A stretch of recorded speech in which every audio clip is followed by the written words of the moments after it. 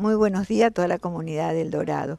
Y nosotros muy contentos porque este, esta donación es muy importante para nosotros y viene del Club de Deportes de la municipalidad, que está el director que ha tomado la determinación de hacer ese evento y eligió al hogar Santa Marta para estas cosas que nos han regalado. Siempre es bueno que se le reconozca al hogar por su eh, característica benéfica, ¿no? Sí, mira, es muy importante porque la comisión, ustedes saben que todas trabajan sin aporte, damos nuestro tiempo y todo lo hacen con mucho amor. Así que también eso es importante. Y es muy importante que la comunidad responda, ¿no es cierto? Porque estamos a la...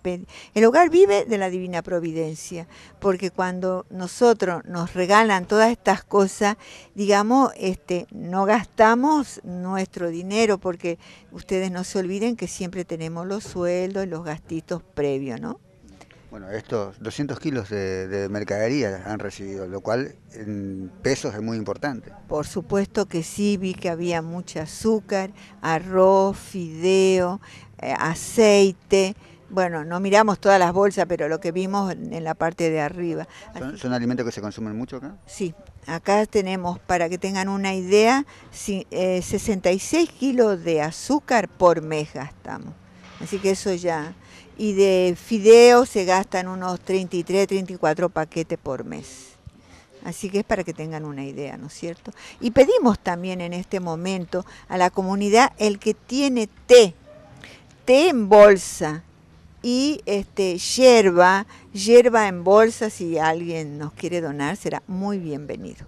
Bueno, y ustedes particularmente desde la comisión, ¿qué actividades están organizando próximamente? Todavía no, no, no empezamos porque viste que la gente, empezamos a hacer los eventos a partir de abril, así que estamos ahí viendo qué, qué eventos vamos a hacer. Estamos haciendo la entrega de, de los alimentos no perecederos que, que fueron eh, a modo de entrada del evento del fin de semana, el showball de River versus Boca, así que bueno, todos los alimentos que la, la gente concurrió y, y entregó en el Centro de Educación Física, estamos haciendo entrega hoy en el Hogar Santa Marta que básicamente qué, tipo de alimentos son.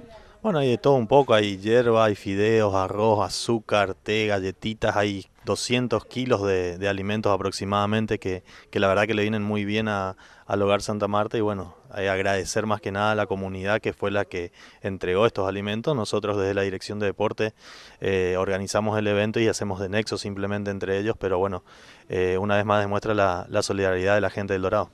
¿Y cuál es la evaluación que hace justamente de, ese evento realizado el sábado?